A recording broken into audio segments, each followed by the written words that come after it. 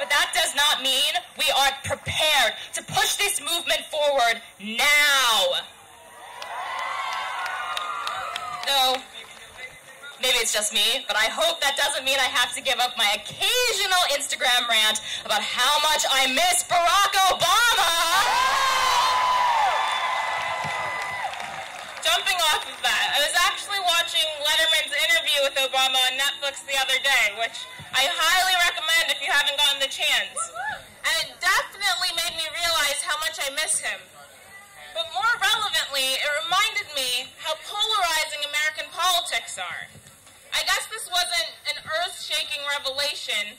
In fact, it might be a little bit obvious considering our government is literally shut down right now.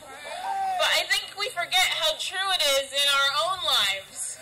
Um, social media makes it entirely too easy to retreat into our own little bubble where we only hear viewpoints that reflect our own considering myself, I'm realizing I'm realizing that I surround myself with people who agree with me, and sometimes this is necessary. Like looking out at this crowd, I just feel so energized by being surrounded by this crowd. That ain't the baby. Teach her, Maya. And it's it's natural that we befriend people with common interests, common values. But this can also be dangerous. Teach her, Maya. I mean. Sure, it's not like nuclear war is imminent if I get into a Twitter feud. But doing my best to avoid hyperbole, the future of our country is dependent on our ability to cooperate. Yes. And we see that now more than ever. So with She Strong, my goal is to really create a place where everyone can come to the table. A place where young women are enabled to bring their communities and the women in those communities together at a time where it's crucial. Yes. All right. Because right now, young women, young voices need to be heard more than ever. We need to be united.